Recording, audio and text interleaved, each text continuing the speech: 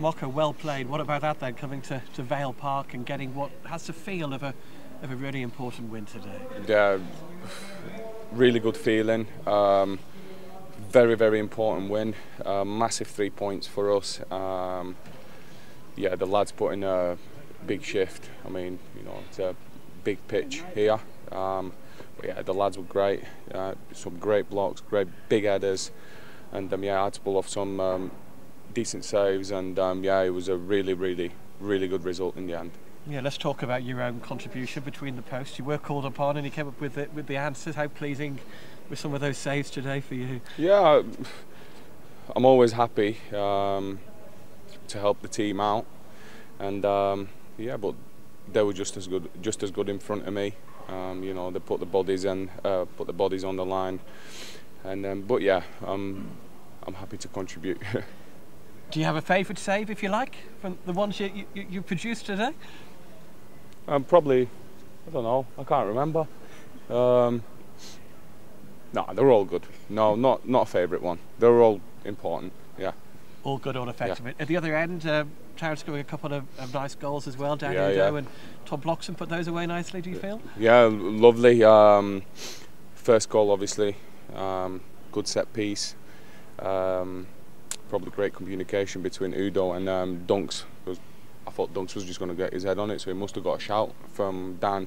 And yeah, great finish. Um, second one, I didn't know who scored.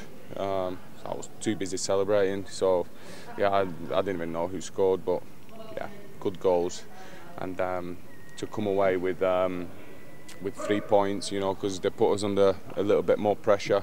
Second half, it's always difficult when you're you know, where they get one back and, um, you know, they're just full out attack. Obviously, this game was really, really important for them as well.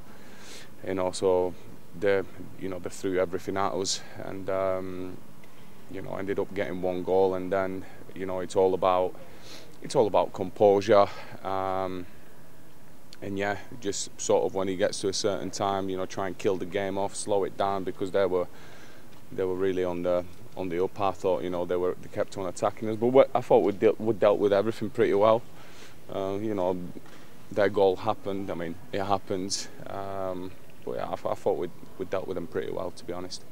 The away fans played their part as well in, in roaring you on. Oh my God! Sure, how do you feel? They were amazing, especially the first half, because obviously I was I was stood right there um, in front of them. I couldn't even talk to my centre backs because they couldn't hear me.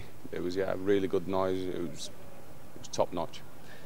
And how are you, Mark? Obviously, you missed the last couple of matches, uh, Lincoln away and, and, Blackpool home. Back today and, and back playing so well too. What's the story with, with you in terms of the injury and are, are you feeling better now?